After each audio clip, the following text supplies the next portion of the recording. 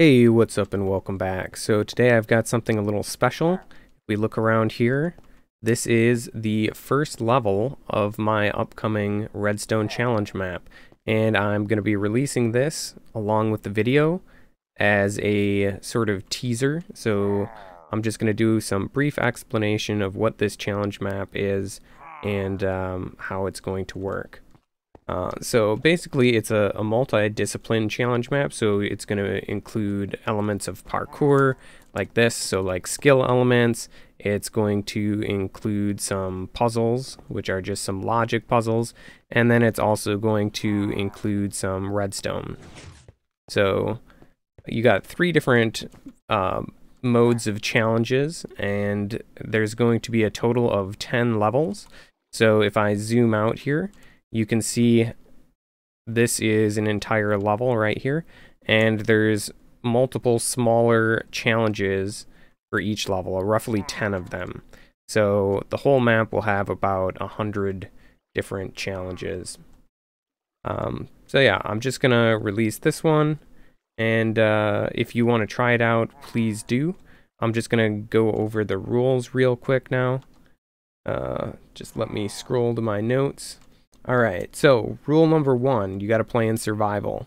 Um, I have cakes around here. If you want an extra challenge, you can try doing it without giving yourself food. Um, but if you just want to try it without having to worry about hunger or anything, um, then feel free to give yourself food. You just can't use that food anywhere in any of the puzzles. It's only for consuming and keeping your stamina up. All right, rule number two, you can only break or destroy items, blocks, or entities that you've placed yourself. So you're going to start with nothing, and then through doing some of these challenges, you'll see uh, there's little signs around here that says 11 redstone dust. So there is some redstone dust down under here, under this pillager. Um, so once you pick this up, so you pick up some redstone here, and I'm in creative mode, but you pick up some redstone, then you're allowed to place and break this redstone that you got from an inventory there. Um, but you're not allowed to break or place any of these other blocks that are already existing. All right, so at some points you may get some pistons.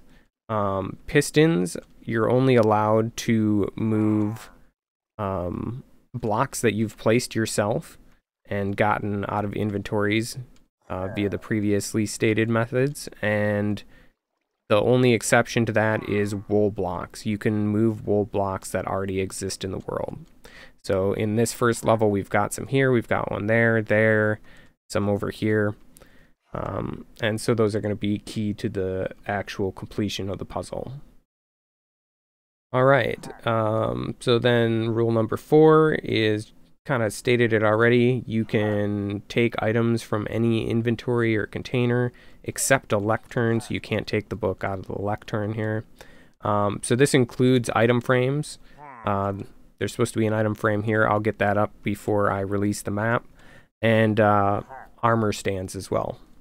And then rule number five, the last rule is you can't kill any mobs. So if there's mobs in here, you aren't allowed to kill them. They're there for a reason and they're part of the puzzle.